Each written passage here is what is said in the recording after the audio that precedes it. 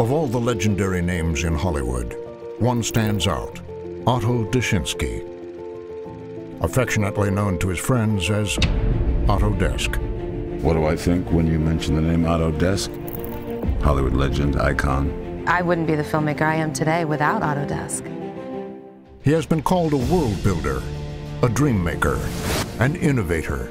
He changed game changing. Visual effects wouldn't be where it is today if it wasn't for Autodesk. As curious as he was fearless, he would raise impossible structures, create the tools of our shared future, transform dreams into reality. I mean, if Hollywood had a Mount Rushmore, Otto would be on it.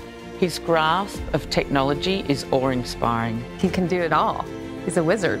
What's your favorite movie? I bet Otto worked on it. I, I never met Otto, but um, he changed my life. And though he never sought the spotlight, tonight it will finally shine bright on Autodesk. Congratulations, Otto. Congrats, Otto. Congratulations, Otto. Thank you for everything. Ladies and gentlemen, Autodesk. Hi, I'm Courtney. I think there's been a misunderstanding. I use Autodesk software to make movies look amazing. There is no guy named Autodesk. So, well, since I'm here, I want to thank. And so the world finally realized what should have been pretty obvious.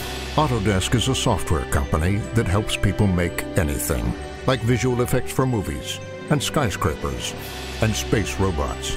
The man and the myth were no more.